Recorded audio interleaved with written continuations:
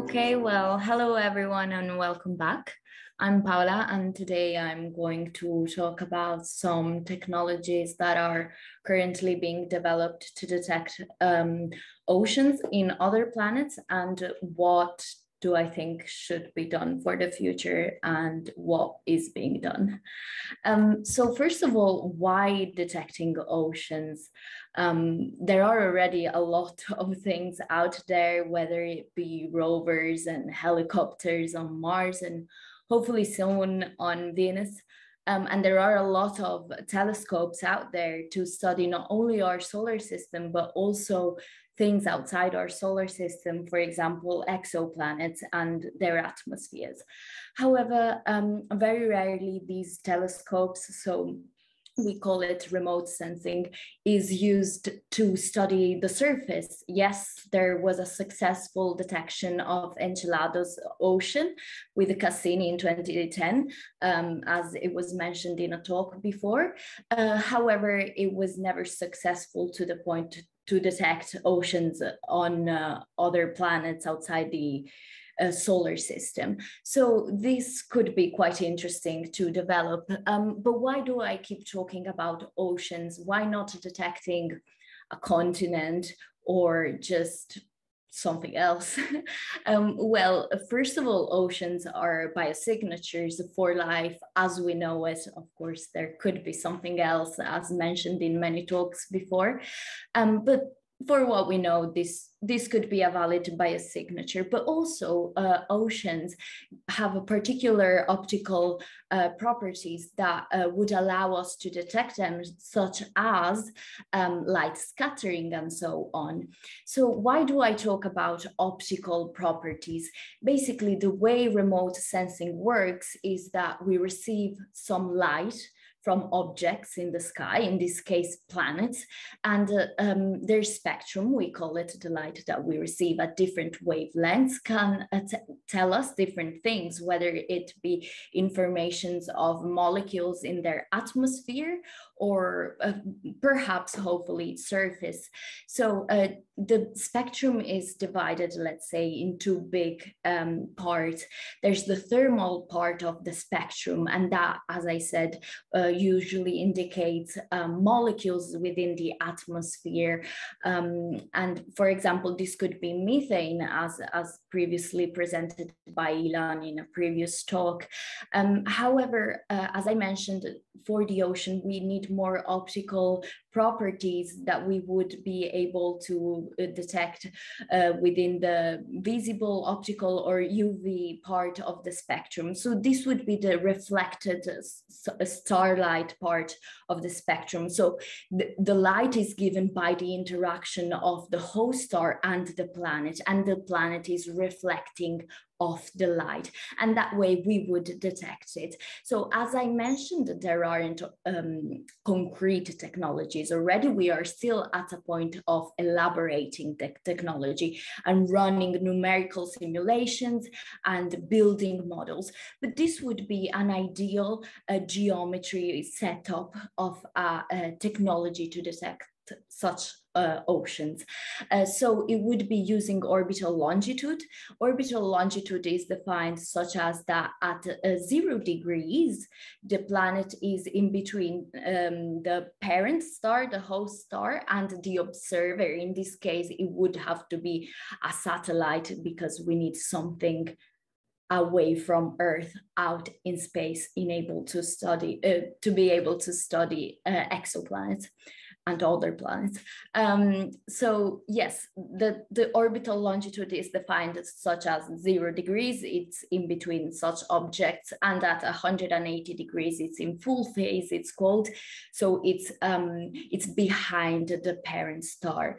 Uh, this being said, then um, running simulations, so um, with different scenarios, let's say a planet having an ocean, a planet not having an ocean, a planet having an ocean and some clouds and so on, uh, it was able, we were, well, uh, it was possible to uh, create this sort of map, let's say it's a graph um, based on the polarization. So at 74 degrees, um, the water of the ocean uh, is at maximum polarization of light. And it would be in that exact uh, angle that we would be able to detect um, uh, the ocean thanks to light scattering.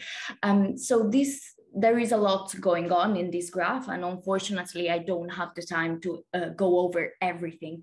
But in general if there were um, for example an ideal planet earth size with an ocean and hopefully no clouds uh, to let's say um, create some um, difficulties in the detection of the planet, it would be represented by the gray, the gray line. So the data points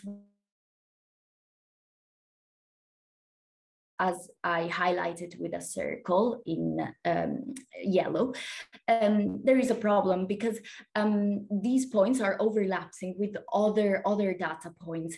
And these are uh, represented by the, the black and red line. These represent dark surfaces, so no, no water whatsoever. And the point is, if we were ever uh, able to detect a planet that we think might have an ocean because let's say in this graph it would fit along that line along the gray line. It could at the same time be a false positive because it could also actually not have an ocean. So this is a bit a gap in the technology. Uh, moving over, this is not the only uh, method being developed. There are uh, many others. And another that I took, for example, for, for this talk is um, studying the Earth itself. We, we know that the Earth has an ocean, uh, has many oceans. Um, so we can use it to develop the technology itself. And let's see what can we detect through such technologies. Um, so um, yes, mapping the the earth at different um, with different throughput we call it so um, any kind of um, um, obstacle, let's say, in the in the detection, this would be clouds, hazes, um, aerosols, dust. Um, that would worsen the detection. In fact, we can see the first image uh, on the left is uh, um, only has a precision, a photometric precision, so just the precision of the detection of 3.8 4.3%.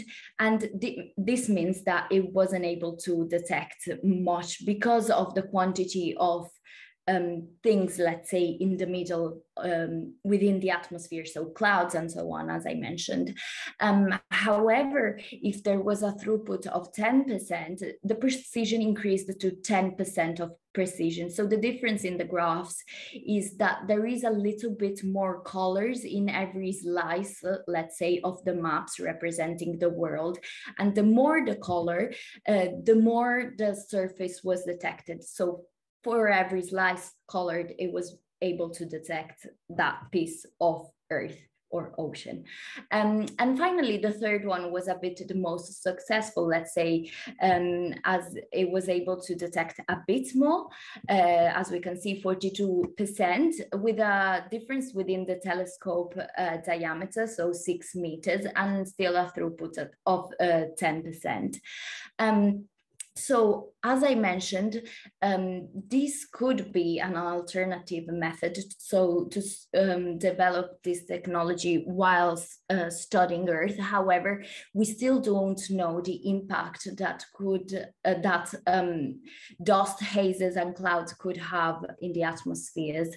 Um, so why detecting uh, oceans once we detected oceans what what do we do with them well there are different applications that um, many fields could um, benefit from for example oceanographies and study how ocean form whether it's in another planet but hopefully finding solutions uh, to questions we have for our own planet. Um, and geophysics uh, questions too, and also lead to uh, maybe more accurate formations of theories of planet formations, elaboration of theory, um, but also exoplanet formation. But also, um, maybe it would help us identify better habitable zones. Maybe we detect a planet bearing ocean outside the habitable zone or around a host star that we thought wouldn't be um, hosting a habitable environment.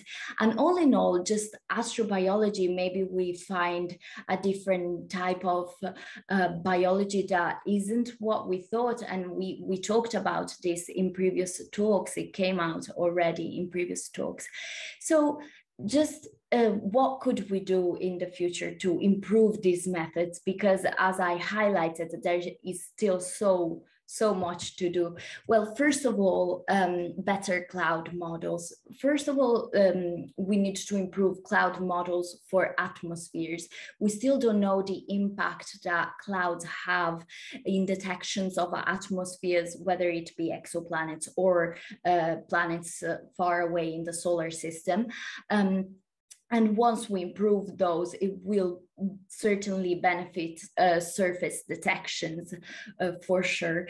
And so uh, this would be um, possible also through uh, space-based um, uh, telescopes with high contrast uh, imaging. Um, and also another thing that could improve um, uh, could be improved in these technologies is also research of habitability assessments, as I mentioned uh, in the slide before, and in particular of direct imaged and transiting planets all in all, um, just as many things in astrobiology, the key, I think, is interdisciplinary research. So connecting different fields, different topics, especially something like studying oceans, but in other planets, involves different sciences, whether it be oceanography and exoplanet science and atmospheric science and so, so many more sciences. So this was my talk. Um, uh, thank you for listening and I will end sharing. No? Oh. Thanks so much, Paola. Um, do we have any questions from the audience? You can ask in the chat or unmute yourselves and ask a question if you like.